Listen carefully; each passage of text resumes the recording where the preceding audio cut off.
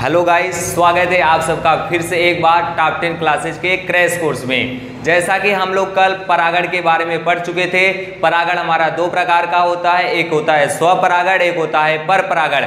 हम लोग इन सब के बारे में अध्ययन कर चुके थे। फिर आज जो हम लोगों का टॉपिक है, वह है स्वपरागण सेल्फ पॉलिनेशन व पर परागण क्रॉस पॉलिनेशन में अंतर।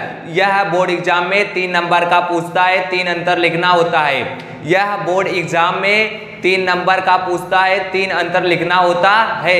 यह बोर्ड एग्ज़ाम के दृष्टि से महत्वपूर्ण है तो इस पर विशेष फोकस करिएगा। तो आइए हम लोग स्टार्ट करते हैं।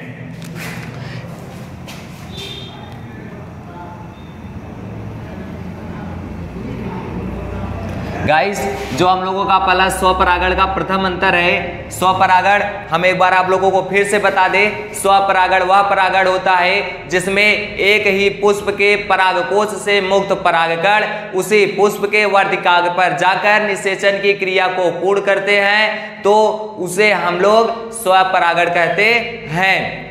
और पर परागण पर परागण वह प्रक्रिया होती है जिसमें एक पुष्प के परागकोश से मुक्त परागकण उसी जाति के, उसी जाति के किसी दूसरे पुष्प के वर्तिकाग्र पर किसी माध्यम के थ्रू जाते हैं। तो उसे हम लोग पर परागण कहते हैं। एक बार फिर से स्वपरागण वह परागण होता है, जिसमें एक पुष्प के पराग कोष से मुक्त परागकण उसी पुष्प के वर्तिकाग्र पर जाकर निषेचन की क्रिया को पूर्ण करते हैं। उसे हम लोग स्वपरागण कहते हैं। और पर परागण पर परागण वह परागण होता है, जिसमें एक पुष्प के पराग कोष से मुक्त परागकण उसी जाति के किसी दूसरे पुष्प के वर्तिकाग्र पर किसी माध्यम के द्वारा जाकर निषेचन की क्रिया को पूर्ण करते हैं तो उसे हम लोग स्वपरागण बोलते हैं। तो आइए स्वपरागण व पर परागण में हम लोग अंतर लिखते हैं। तो जो हम लोगों का पहला अंतर है स्वपरागण में स्वपरागण में द्विलिंगी पुष्प होते हैं। स्व स्वपरागण में द्विलिंगी पुष्प होते हैं, तभी तो इनमें स्वपरागण की क्रिया होती है। द्विलिंगी पुष्प होते हैं।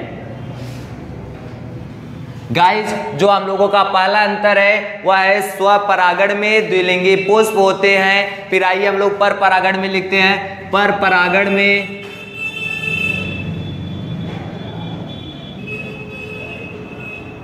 पर परागण में एक लिंगी पुष्प, एक लिंगी पुष्प वह द्विलिंगी पुष्प दोनों होते हैं। वह द्विलिंगी पुष्प वह द्विलिंगी पुष्प दोनों होते हैं।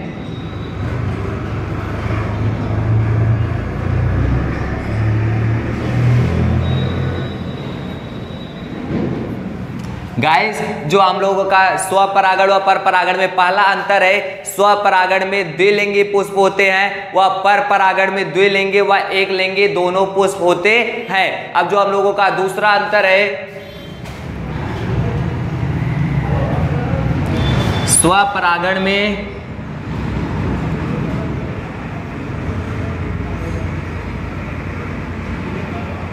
स्वपरागण में माध्यम की आवश्यकता नहीं होती है। स्वपरागण में माध्यम इसे हम लोग बोलते हैं एजेंट। माध्यम की आवश्यकता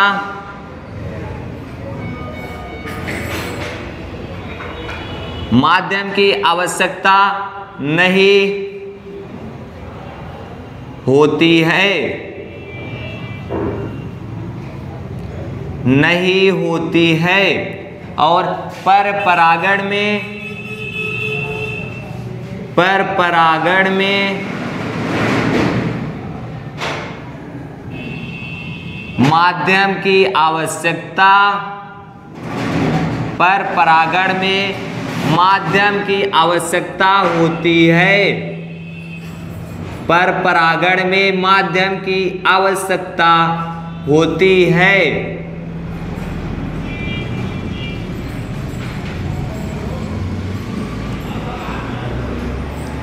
फिर इसके पश्चात हम लोगों का जो तीसरा अंतर है, वह है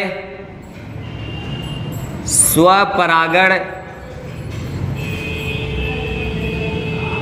स्वपरागण की क्रिया में, स्वपरागण की क्रिया में पौधों के पुष्प, पौधों के पुष्प में, पौधों के पुष्प में पुंकेसर व स्त्री के सर, पुंग के सर, व स्त्री के सर, दोनों साथ साथ परिपक्व होते हैं। दोनों साथ साथ, दोनों साथ साथ परिपक्व होते हैं। दोनों साथ साथ परिपक्व होते हैं। गाइस जो हम लोगों का स्वपरागण में तीसरा अंतर है, वह है स्वपरागण की क्रिया में पौधों के पुष्प में पुंकेसर व स्त्री केसर दोनों साथ साथ परिपक्व होते हैं। जब साथ साथ परिपक्व होंगे तो जो पुंकेसर के परागकोश से मुक्त परागकण होगा, वह चिपचिपा वर्तिका पर चला जाएगा और संलयन की क्रिया को पूर्ण करेगा। और जो पर परागण होता है, पर परागण में पर परागण की क्रिया, पर परागण की क्रिया में, पर परागण की क्रिया में, पौधों के पुष्प में, पौधों के पुष्प में, पौधों के पुष्प में पुंकेसर व स्त्री केसर पौधों के पुष्प में पुंकेसर व स्त्री केसर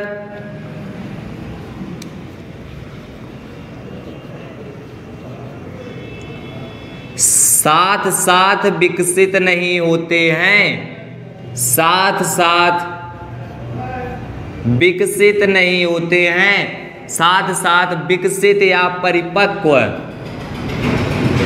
विकसित या परिपक्व नहीं होते हैं।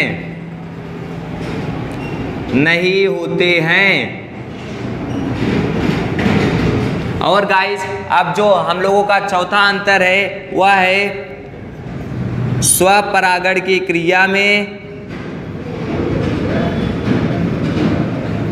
स्वपरागण की क्रिया में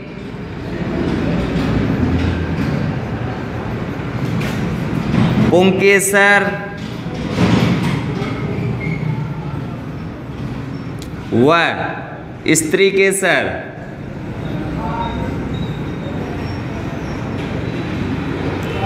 इस प्रकार व्यवस्थित होते हैं। इस प्रकार व्यवस्थित होते हैं। इस प्रकार व्यवस्थित होते हैं कि उनमें परागकण, कि उनमें परागकण वर्तिकाग्र पर आसानी से आ जाते हैं। वर्तिकाग्र पर आसानी से आ जाते हैं। स्वपरागण की प्रक्रिया में पुष्प व स्त्री स्त्रीकेसर इस प्रकार व्यवस्थित होते हैं कि उनमें परागकण वर्तिकाग्र पर आसानी से आ जाते हैं। आसानी से आ जाते हैं। अब जो हम लोगों का पर परागण में चौथा अंतर है, वह है पर परागण की क्रिया में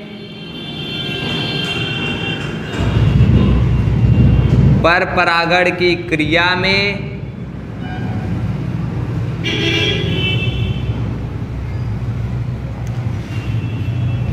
पुंकेसर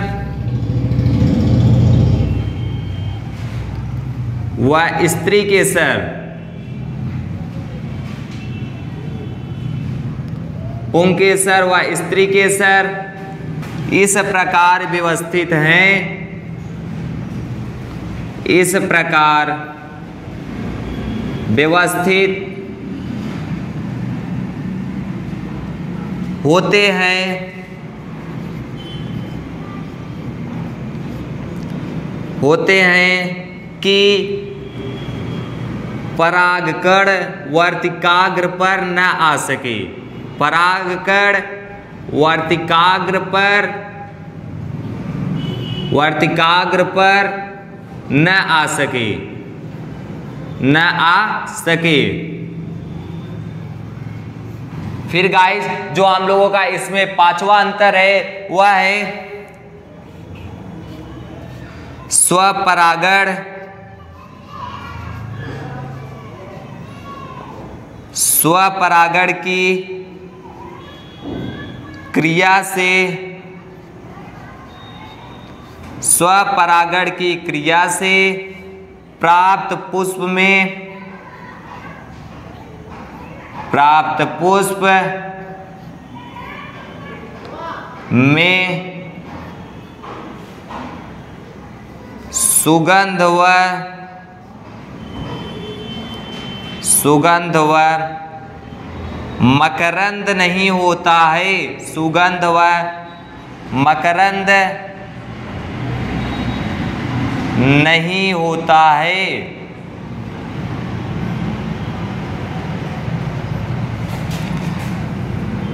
और इसके कुछ पुष्पों में और इसके और इसके कुछ पौधों के पुष्प और इसके कुछ पौधों के पुष्प पौधों के पुष्प सदैव बंद रहते हैं। सदैव बंद रहते हैं।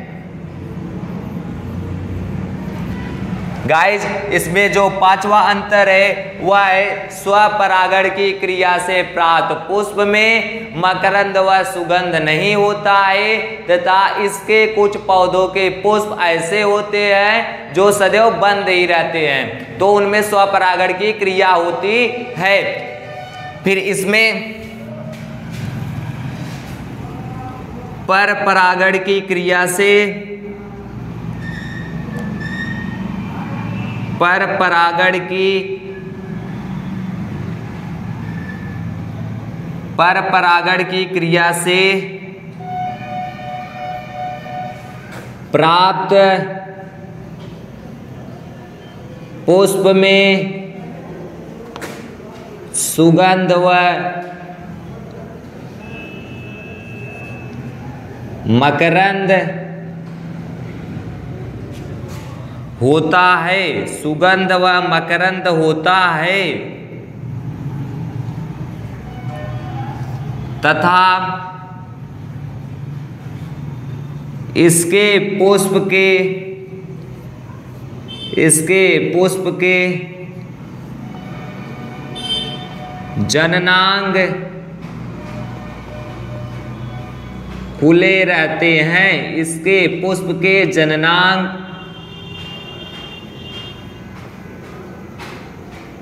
खुले रहते हैं। गाइस यह हम लोगों का हो गया है पाँच अंतर। जैसा कि मैंने पहले ही आपको बता दिया कि यह बोर्ड एग्ज़ाम की दृष्टि से बहुत ही महत्वपूर्ण प्रश्न है। यह दो या तीन नंबर लेके बोर्ड एग्ज़ाम में पूछता है। तो आइए फिर से हम आप लोगों को एक बार बता देते हैं। तो जो इसमें पहला अंतर है, वह है स्वपरागण में द्विलिंगी पुष्प होते हैं। अब द्विलिंगी पुष्प क्या होता है? तो हम आपको बता दें, द्विलिंगी पुष्प वह पुष्प होता है जिसमें नर व मादा भाग दोनों एक ही पुष्प में स्थित होते हैं। उसे हम लोग द्विलिंगी पुष्प कहते हैं। तो इसमें जो हम लोगों का पहला अंतर है, वह है स्वपरागण में द्विलिंगी पुष्प होते हैं और पर परागण में द्विलिंगी व एक लिंगी दोनों पुष्प होते हैं।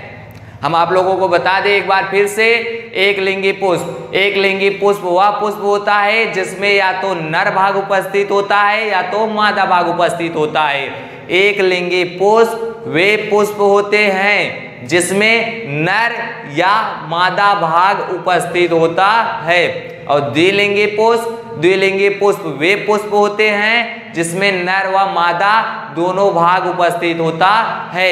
फिर इसका जो दूसरा अंतर है, वह है स्वपरागण में माध्यम की आवश्यकता नहीं होती है। और जो पर परागण है पर परागण में माध्यम की आवश्यकता होती है। इसके बाद जो तीसरा अंतर है, वह है स्वपरागण की क्रिया में पौधों के पुष्प में पुंकेसर व स्त्री केसर दोनों साथ साथ परिपक्व होते हैं।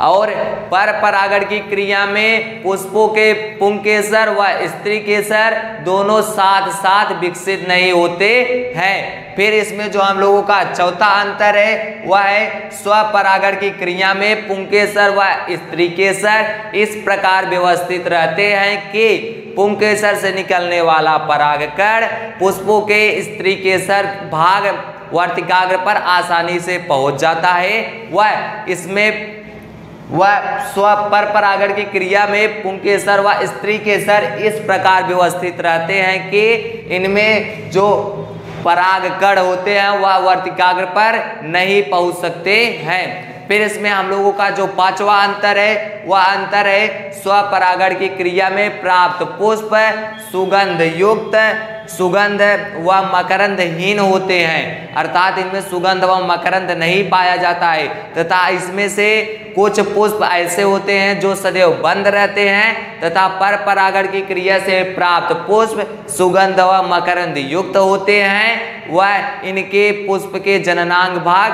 खुले रहते हैं। तो गाइस यह हो गया हम लोगों का सेल्फ पॉलिनेशन व क्रॉस पॉलिनेशन में डिफरेंट तो अब यह हम लोगों का हो गया तो आई होप अगर आप लोगों को वीडियो अच्छा लगा तो वीडियो को लाइक कीजिए, वह चैनल पर पहली बार आए हो तो चैनल को सब्सक्राइब कीजिए। वह जो आप लोगों का डाउट हो, वह कमेंट करके पूछिए, आपके डाउट को आउट किया जाएगा। मिलते हैं फिर आज से नेक्स्ट क्लास में, तब तक के लिए जय हिंद, जय भारत।